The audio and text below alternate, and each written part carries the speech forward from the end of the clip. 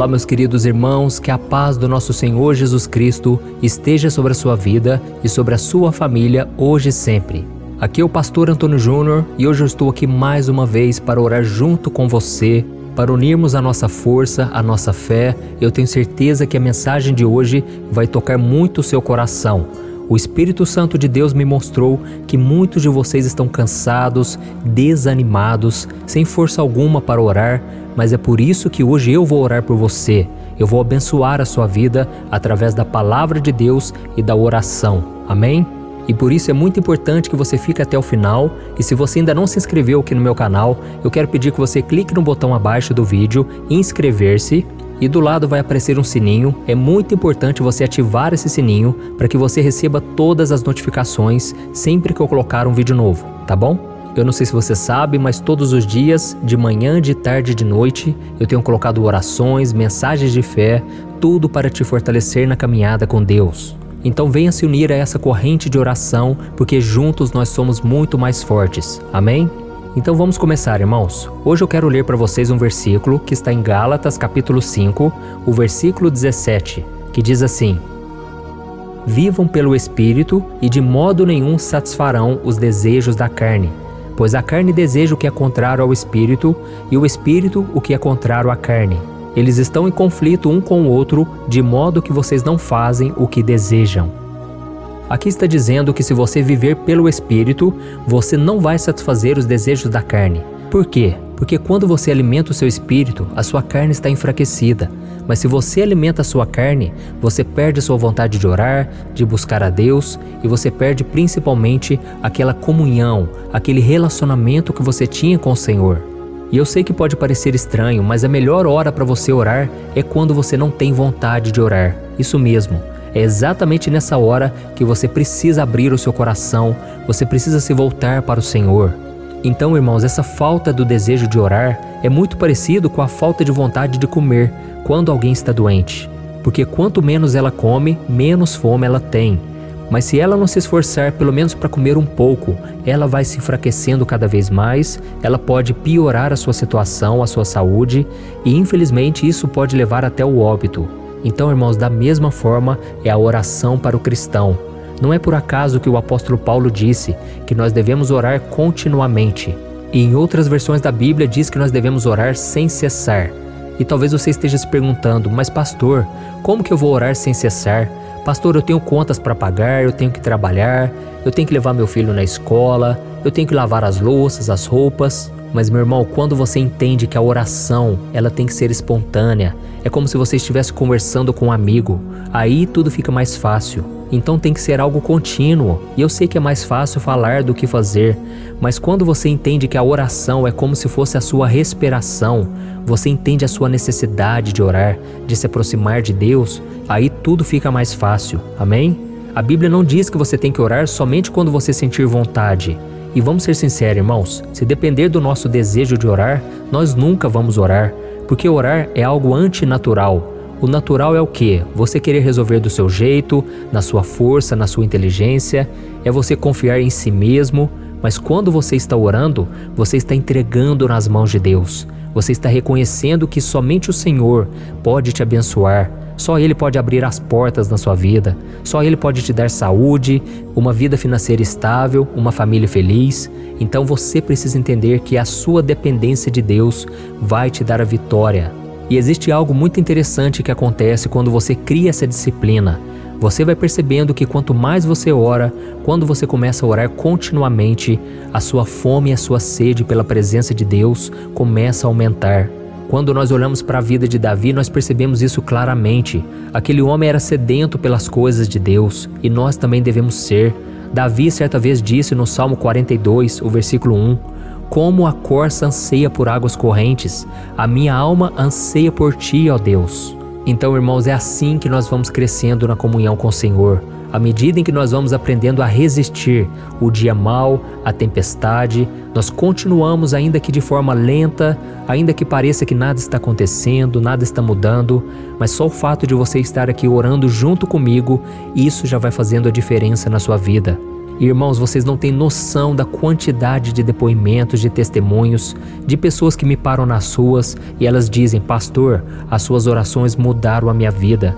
Pastor, foi só eu começar a orar com você, nossas coisas começaram a andar, as coisas mudaram em todas as áreas. Irmãos, eu sempre digo: isso é o poder do Espírito Santo.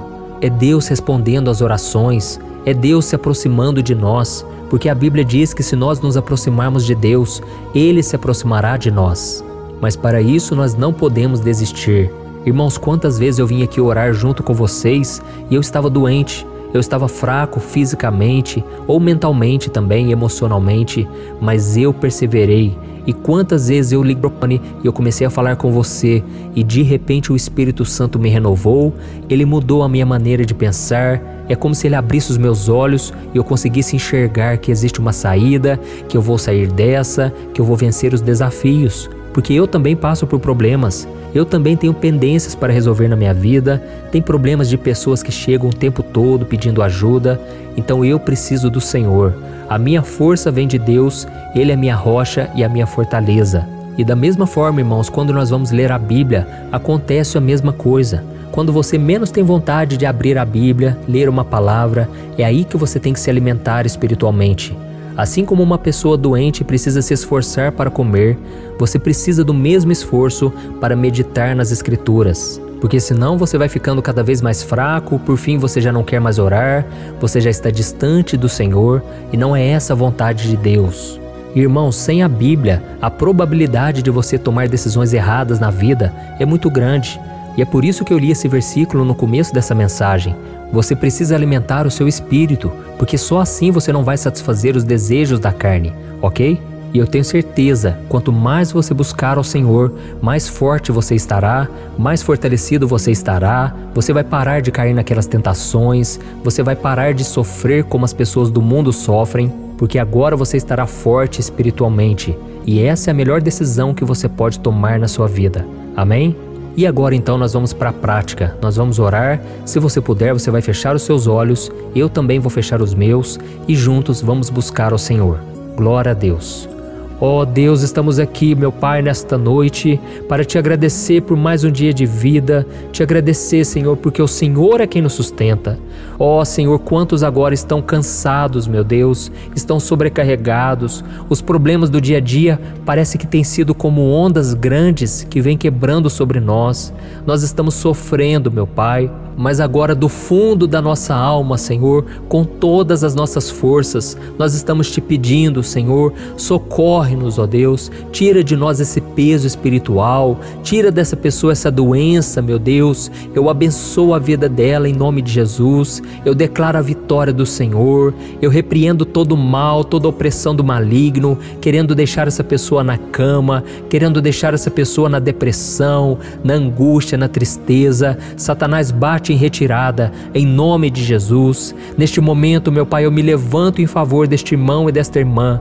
Eu não aceito, meu Pai, que essa pessoa continue opressa, vivendo essa vida derrotada. Senhor Jesus, a tua palavra diz que o Senhor veio para nos dar uma vida e abundância.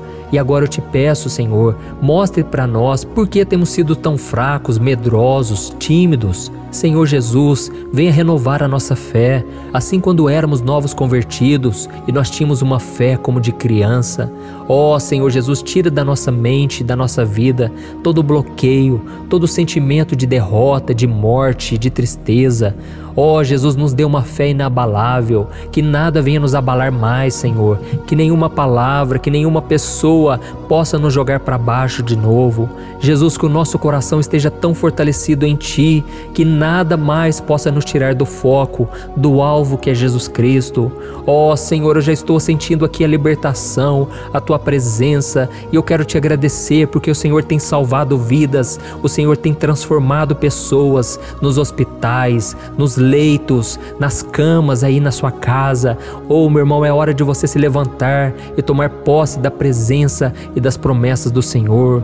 Oh, meu Deus, derrama sobre essa pessoa a unção de cura, de milagres, de multiplicação, a unção de alegria, que essa pessoa venha aprender a usar a autoridade do nome de Jesus. Senhor, meu Deus, eu te peço, fortaleça essa vida, meu Pai, e endireite os caminhos dela assim como está escrito na tua palavra, que se nós confiarmos no Senhor de todo o nosso coração e não nos apoiarmos em nosso próprio entendimento, o Senhor endireitará os nossos caminhos. E Senhor, isso é tudo que muitas pessoas vêm pedindo aqui de manhã e de noite. Elas precisam de um milagre, elas precisam que o Senhor intervenha, faça o milagre acontecer. E é isso, Senhor, que eu já te peço, mas eu já te agradeço, porque tu és um Deus fiel. O Senhor não faz do nosso jeito, não faz no nosso tempo, mas o Senhor faz tudo de forma perfeita e tudo de forma que seja para o teu louvor e para a tua glória porque a tua palavra diz que a vontade do Senhor é boa, perfeita e agradável. E eu creio, meu Pai, que a vontade do Senhor vai se cumprir em nossas vidas e que tudo vai cooperar para o nosso bem. Em nome de Jesus que eu oro e já te agradeço. Amém. Glória a Deus. Oh, meus amados irmãos, vocês não sabem a alegria que eu estou sentindo aqui agora. A presença do Espírito Santo me renovou e eu creio que renovou a sua vida também. Eu sei que os problemas vão continuar, mas se você viver pelo Espírito, viver a sua vida pela fé e não satisfazer os desejos da sua carne, cada dia mais você vai se aproximar do Senhor. É um degrau de cada vez. Não fique pensando no final da escada. Pense somente em vencer aqueles pecadinhos que você vem aceitando na sua vida. Pense somente em vencer aquela roda de amigos em que você faz fofoca, conta mentiras. É nos pequenos detalhes que você vai crescendo espiritualmente. Amém? E agora eu peço que você compartilhe. Lembre-se aí dos seus amigos, familiares, envie nos grupos de WhatsApp. É só você clicar no botão abaixo do vídeo, compartilhar e enviar para todos, ok?